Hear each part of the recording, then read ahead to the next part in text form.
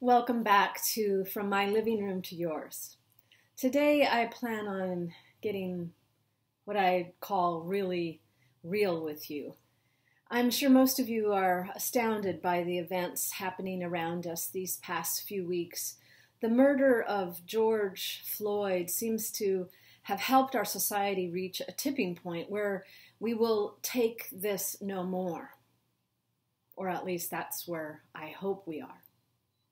Some of you heard me address some of the social injustices in Sunday's sermon, but I've been hesitant to share more. Partly, I don't want to say anything that would create more divisiveness, and partly, I have the sense that I don't know what I should say.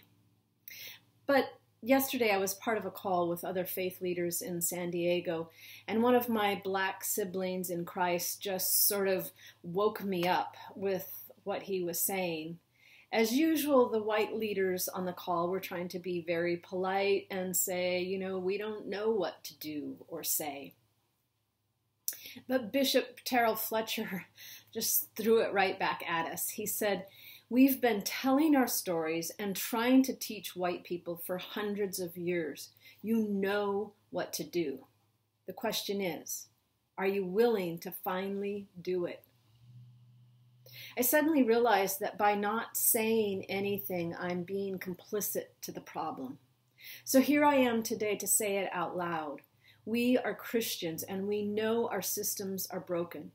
We know our siblings of color suffer in ways that white people never even have to worry about.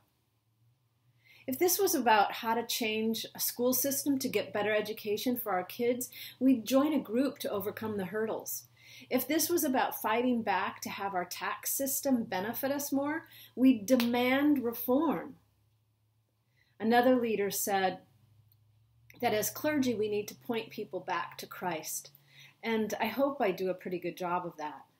But what I'm highly aware of today is that when we point people to Christ, if all we see is Jesus' loving embrace, then we're missing the point.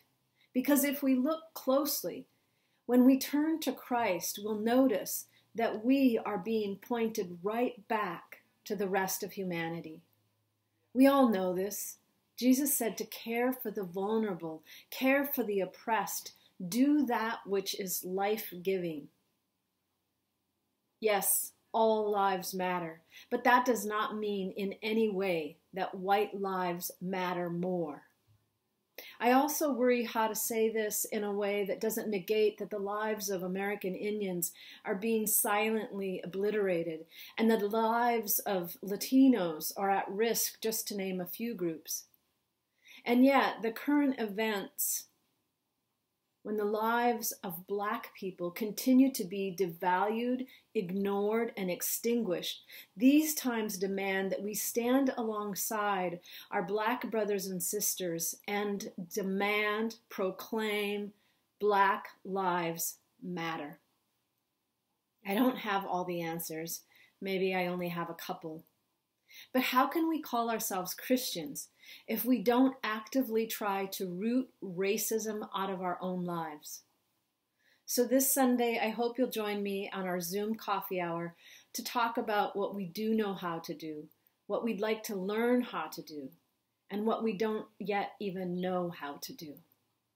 Then, starting Sat- Sunday, June 21st, I hope you'll join me in a 10 week series called Sacred Ground which will help us become aware of and further dismantle the racism in our own lives.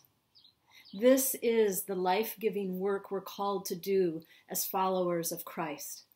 I hope you'll join me. Until next time, go with God, go with great courage.